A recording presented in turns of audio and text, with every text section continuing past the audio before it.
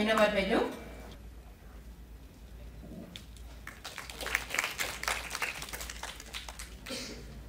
ইয়াৰ পাছতে আমি সম্বৰ্ধনা জনাব বিচাৰিছোঁ শ্ৰীযুত অৰিন্দম বৰকটকী ডাঙৰীয়া। তেখেতক এখনি আৰ্নাৰে সম্বৰ্ধনা জনোৱা হৈছে। ধন্যবাদ। ডাঙৰীয়াই কৈছে যে সংবাদৰ পৰা মই ভাবোঁ যে অনুজ গোস্বামীহঁতৰ দৰে তেওঁলোকৰ দৰে ভাল হৈছে। কাৰণ আমি বহুত এজন বিশ্ব বিশ্ৰুত এজন লেখক আমি হেৰুৱাইছোঁ। মই তেনেকৈহে ভাবোঁ।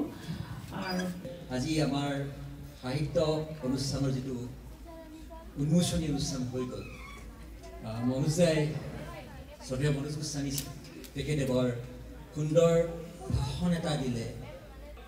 আমাৰ ভাষাক লৈ আমি যিখিনি কৰিব পাৰোঁ আমি আচলতে সেইখিনি কৰিব পাৰিছোঁ না। ভাষা আচলতে খুব প্ৰতিপাল কৰাৰ দৰকাৰ আছে। আজি মই কিছুদিন আগতে মই বাংলাদেশলৈ গৈছিলোঁ।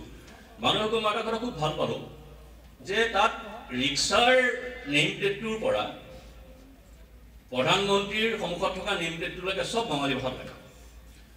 কোনো তাত ইংৰাজীৰ প্ৰচলন হ'বলৈ দিয়া নাই মই জানো যে তেওঁলোকে এইটো ডেলিভাৰলি দিয়া নাই যাতে ইংৰাজী ইংৰাজী শুনি সোমাব নালাগে। আনকি মোক তেওঁলোকে এটা কথা ক'লে যে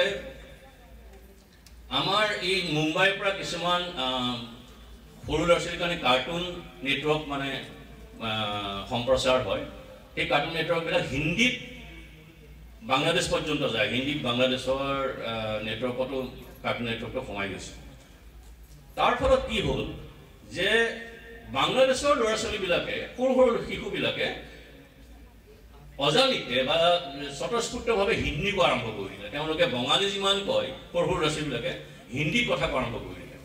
যিটো বস্তু আমাৰ ইয়াতো লাহে লাহে হৈছে আমাৰ সৰু ল'ৰা ছোৱালীবিলাকে অসমীয়াত কথা কোৱাতকৈ হিন্দী বা ইংলিছতো হয় কেতিয়াবা কথা কোৱা আৰম্ভ কৰিছে। তাত এই ধৰণৰ টেলিভিশ্যন চেনেলৰ এই কাৰ্টুন নেটৱৰ্ক বা এনেকুৱা ধৰণৰ প্ৰভাৱ খুব বেছি। যেতিয়া বাংলাদেশ গভৰ্ণমেণ্টে এইটো দেখিলে যে তেওঁলোকে এইটো খুব বিপদজনক কথা গতিকে তেওঁলোকে এইটো একদম ব্লেংকেট বেন কৰি দিলে। কাৰ্টুন নেটৱৰ্ক যিয়ে নহওক বাংলাদেশত সম্প্ৰচাৰ হ'ব নোৱাৰে হিন্দীত প্ৰচাৰিত। গতিকে এই ধৰণৰ তেওঁলোকে লালন পালন ভাষা কৰিছে যিটো আমি হয়তো কৰা নাই। কাৰণ আমাৰ ইয়াত আমি কৰিব পৰা বহুত আছিল। আমাৰ আজি মই সাহিত্য সভাৰ কথা একো নকওঁ আৰু এতিয়া।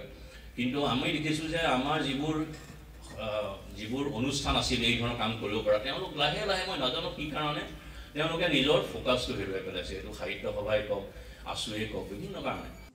এই আমাৰ যিখিনি অগ্ৰচক মই সেইটো কথাই ক'লোঁ। আৰু অগ্ৰচকলে যিখিনি কাম আমাৰ কৰি থৈ গ'ল যিখিনি আমাৰ হাতত মই মানে সম্পদ দি থৈ গ'ল।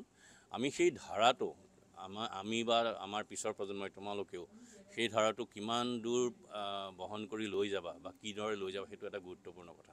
গতিকে আমি আমাৰ সেই অতীতবিলাসী এটা হেৰি যে অমুকে অমুক গল্প লিখিছে ইমান ভাল গল্প অমুক উপন্যাস লিখিছে ইমান ভাল উপন্যাস সেইটোৱে শেষ নহয়।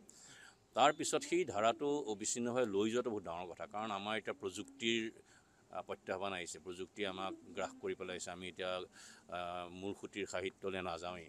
আমি যি পাওঁ ধৰা ছ'চিয়েল মিডিয়াত যি পাওঁ তাকে হেৰি কৰোঁ। গতিকে সেই সেই প্ৰত্যাহ্বানটো কেনেকৈ অতিক্ৰম কৰিম সেইটো এটা ডাঙৰ কথা এই মুহূৰ্তত। গতিকে এনেকুৱা ধৰণৰ গুৱাহাটী লিটাৰী ফেষ্টিভেলৰ নিচিনা ফেষ্টিভেলে কি কৰিব মানুহক অলপ সজাগ কৰি তুলিব বা মানুহক অলপ এই এইবোৰ কথাত মানুহক সেই প্ৰত্যাহ্বানটো ল'বলৈ বাধ্য কৰিব। গতিকে এনেকুৱা অনুষ্ঠানৰ খুব প্ৰয়োজন আছে সেইকাৰণে ইয়ালৈ আহি ভালো লাগিল।